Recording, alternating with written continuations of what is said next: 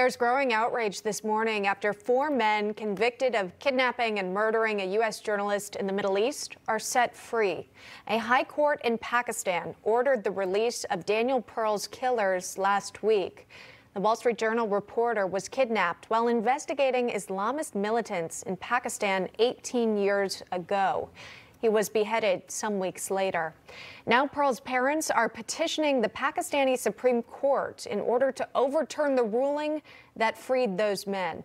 Joining us now is Thane Rosenbaum, a Middle East analyst and distinguished university professor at Touro College. He's also the author of this book here, Saving Free Speech from Itself. Thane joins us now live on the program. Thanks so much for being with us. Uh, you know, you wrote about this in your latest column in the Jewish Journal, where you questioned why the Pakistan government did not view this as a capital crime worth of even a life sentence. What did you find in your research? Well, look, Emma, it's very important to remember this is not even murder. This is barbarism. Really, there isn't any other word for it. We have become inured and desensitized that Islamists cut off heads. Um, and th this should provoke the appropriate amount of moral outrage uh, that this happens in certain societies. An American citizen was, was beheaded. He was lured into a trap in Pakistan, in Pakistan uh, in connection with his investigation of Al Qaeda at the time. Uh, it was even so uh, despicable, Emma. He was lured by email because his, his daughter uh, had not yet been born.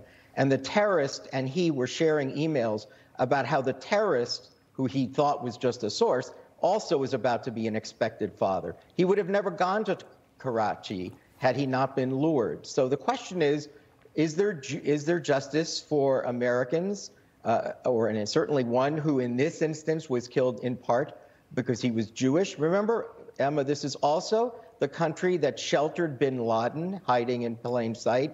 It's also the country that is scheduled to receive a $25 million aid package in this most recent spending bill uh, for democracy and gender programs. I don't even know what that means, but they should spend it at least on their judiciary.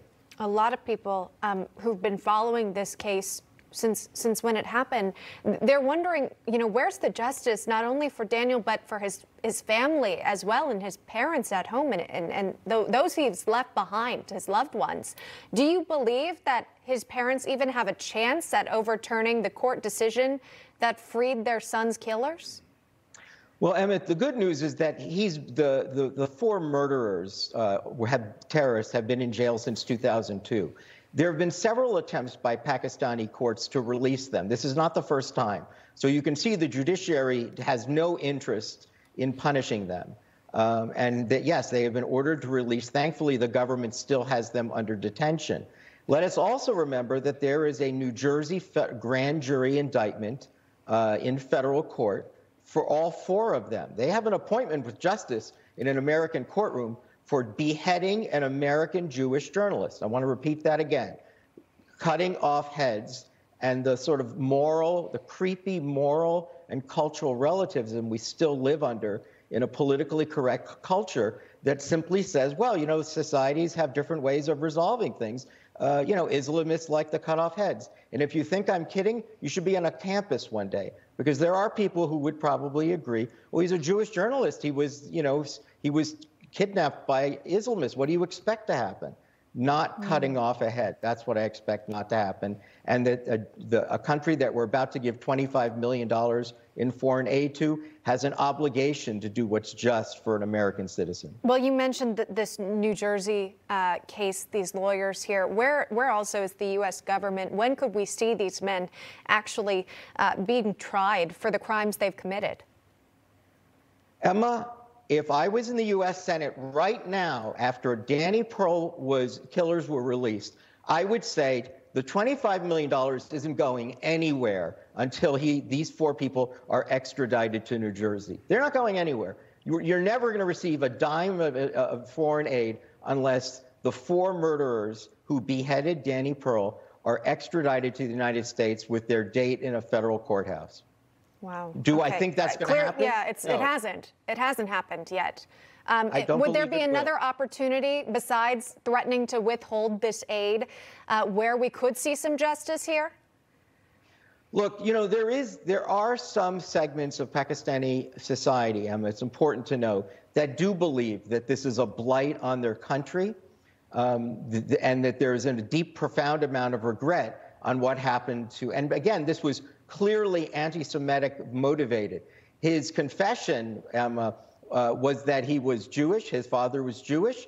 His father was Israeli. And get this, that there is a street in Israel named for his great grandfather. He was beheaded as a Jew, but an American citizen. So I do think that Pakistani officials are aware that the eyes of the world are watching them.